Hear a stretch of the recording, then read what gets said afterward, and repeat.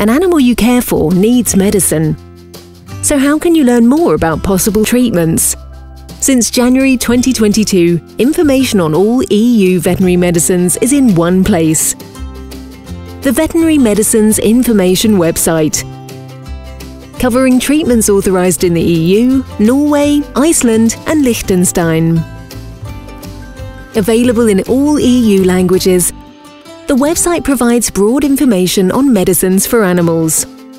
The up-to-date information helps you to learn about the medicines your vet prescribes and find out where they are authorised and available in the EU, while your vet can compare veterinary medicines and identify alternative treatments.